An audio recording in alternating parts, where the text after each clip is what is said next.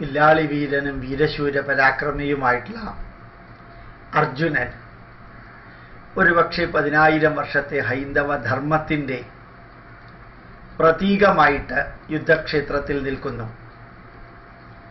ഹിന്ദുധർമ്മം ഒരു പതിനായിരം divided by ഇരുപത് അഞ്ഞൂറ് തലമുറ ബി സി എണ്ണായിരത്തി ഇരുന്നൂറ്റി എഴുപത്തഞ്ച് പ്ലസ് ഓർ മൈനസ് എഴുപത്തഞ്ച് മുതൽക്ക് ഭാരതത്തിലെ ആർക്കിയോളജിക്കൽ എവിഡൻസ് പ്രകാരമുള്ള സാംസ്കാരിക പൈതൃകം നിലനിൽക്കുന്നു. ആ പൈതൃകത്തിൽ അനവധി അനവധി പ്രശ്നങ്ങൾ. അറുന്നൂറ് വർഷം വിദേശ മുസ്ലിങ്ങളും നാന്നൂറ് വർഷം വിദേശ ക്രിസ്ത്യാനികളും ഭരിച്ചിട്ടും തകർത്ത് തരിപ്പണമാക്കാൻ പുറത്തുനിന്ന് ശ്രമിച്ചവരാരും വിജയിച്ചില്ല. ഭാരതത്തെ കണ്ടം തുണ്ടമാക്കാൻ സാധിച്ചു. പക്ഷേ ഭാരതീയ സംസ്കാരത്തെ തകർക്കാൻ സാധിച്ചില്ല. ഭൗതികമായിട്ട് അവർക്ക് ഭാരതത്തെ വിഭജിക്കാൻ സാധിച്ചു.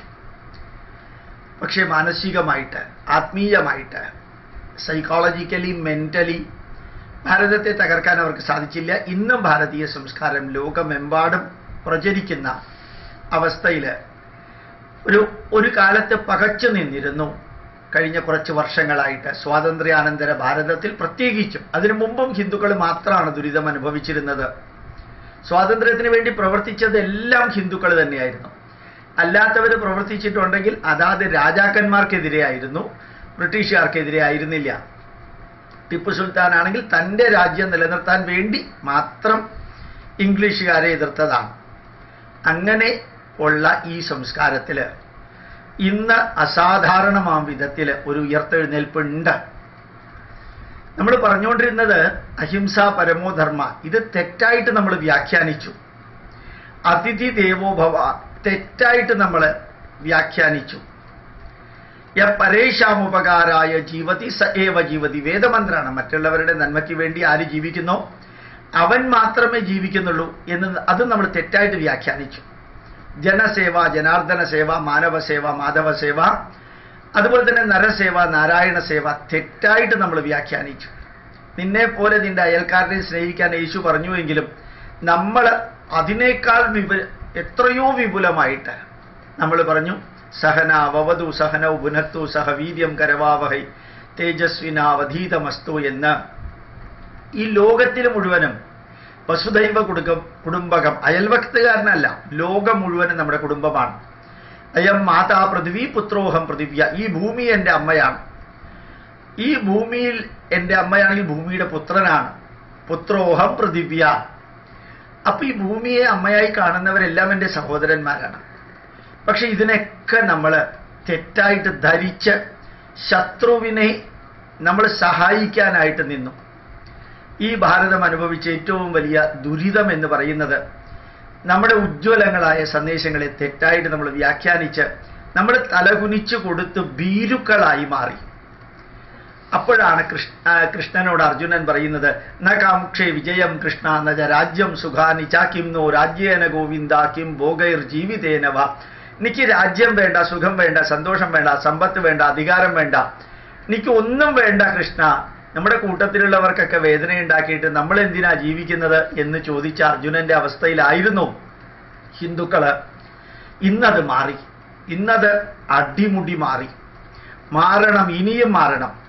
ഈ നാടിനും ഈ പൈതൃകത്തിനും എതിരെ ആരൊക്കെ പ്രവർത്തിക്കുന്നുവോ അവന് വേദനിക്കുന്നുവോ അവൻ വിഷമിക്കുന്നുവോ എന്ന് നമ്മൾ ചിന്തിക്കേണ്ട കാര്യമില്ല. ചിന്തിച്ചാൽ ഇപ്പോ ഹൈന്ദവ ജനത തകർന്ന് തളർന്ന് ഹിന്ദു എന്ന വാക്കുപയോഗിച്ചാൽ വർഗീയമാണ്.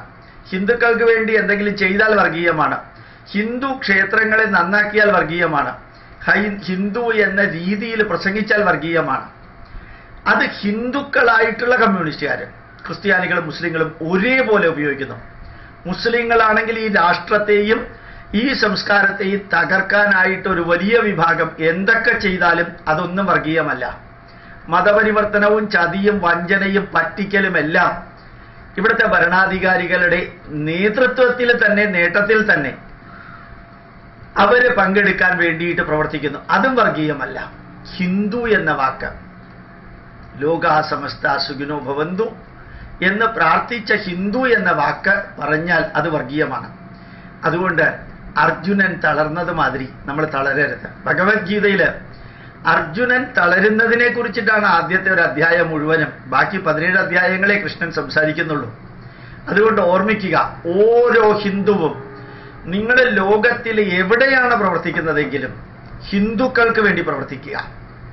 പിന്നെ ബാക്കിയുള്ളവർ കൂടെ വരികയാണെങ്കിൽ അവർക്കൊക്കെ വേണ്ടി പ്രവർത്തിക്കാം പക്ഷേ ഹിന്ദുക്കൾക്ക് വേണ്ടി പ്രവർത്തിക്കാൻ നമ്മൾ ക്രിസ്ത്യാനികളെയും മുസ്ലിങ്ങളെയും മാതൃകയാക്കണം. ഓരോ ക്രിസ്ത്യാനിയും അവൻ ഏത് നിലവാരത്തിലുള്ളവനാണെങ്കിലും ജഡ്ജിമാരാണെങ്കിൽ പോലും പലപ്പോഴും ക്രിസ്ത്യാനികളുടെ കാര്യങ്ങൾക്ക് അവർ അവരുടേതായിട്ടുള്ള രീതിയിൽ വ്യാഖ്യാനിക്കാറുണ്ട്. അഡ്വക്കേറ്റുമാർ മുതൽക്ക് എല്ലാവരും. മുസ്ലിങ്ങൾ അവർക്ക് വേണ്ടിയിട്ടും സൈലന്റ് ആയിട്ട് പ്രവർത്തിക്കുന്നുണ്ട്. അറിയുക ഹിന്ദു സ്ഥാപനങ്ങൾ ഹിന്ദു കുടുംബങ്ങൾ ഹിന്ദു പ്രസ്ഥാനങ്ങൾ ഹൈന്ദവമായിട്ടുള്ളതിനെ സംരക്ഷിക്കാൻ എങ്ങനെയാണോ കൃഷ്ണൻ അർജുനനോട് നിന്റെ ധർമ്മം സംരക്ഷിക്കാനായിട്ട് നീ പ്രവർത്തിക്കാൻ പറഞ്ഞത്. അത് തന്നെയാണ് ഹിന്ദുക്കൾ ഓരോരുത്തരും ലോകത്തിൽ ഇപ്പോൾ ചെയ്യുന്നത്. നമ്മൾ ആഡംബരവും ബാക്കിയെല്ലാം നമ്മളുടേതായിട്ടുള്ള പ്രഥമമായിട്ടുള്ള ലക്ഷ്യവും മാർഗവും അത് മാറ്റിവെച്ച് പകരം വേറെ പലതിനും വേണ്ടിയിട്ട് മതേതരത്വത്തിന്റെ പേരിലും ബാക്കി പലതിന്റെയും പേരിൽ നമ്മൾ നമ്മളുടേതായിട്ടുള്ള വലിയ ചിന്താധാരകളെ ദുർവ്യാഖ്യാനം ചെയ്തിട്ട് നമ്മൾ തലകുനിച്ചു കൊടുത്തതിന്റെ പരിണതഫലം ഇന്ന് ഹിന്ദു അനുഭവിക്കുന്നു. ഇനി അത് സംഭവിക്കരുത്. അർജുനൻ യുദ്ധത്തിന് എഴുന്നേറ്റതുപോലെ തസ്മാതുത്തിഷ്ട കൗന്ദേയ യുദ്ധായ കൃതനിശ്ചയ. ഇതൊരു ധന്യമായിട്ടുള്ള യുദ്ധമാണ്. ധാർമ്മിക യുദ്ധമാണ്. ശാരീരികമല്ല ഇന്റലക്ച്വലാണ് അതുപോലെ തന്നെ അതിന് അതിന് സോഷ്യൽ മീഡിയ എന്ന ആയുധം നമ്മുടെ കയ്യിലുണ്ട്. ഒത്തിരി മീഡിയകൾ അടിമുടി മാറുന്നുണ്ട്. അപ്പൊ തീർച്ചയായിട്ടും ധർമ്മത്തിന്റെ അടുത്തേക്ക് മറ്റുള്ളവർ വരാതിരിക്കില്ല. ധർമ്മം സംരക്ഷിക്കപ്പെടുക തന്നെ ചെയ്യും. നമ്മൾ നമ്മുടെ ദൗത്യം ചെയ്യുക. പ്രണാമം നമസ്കാരം.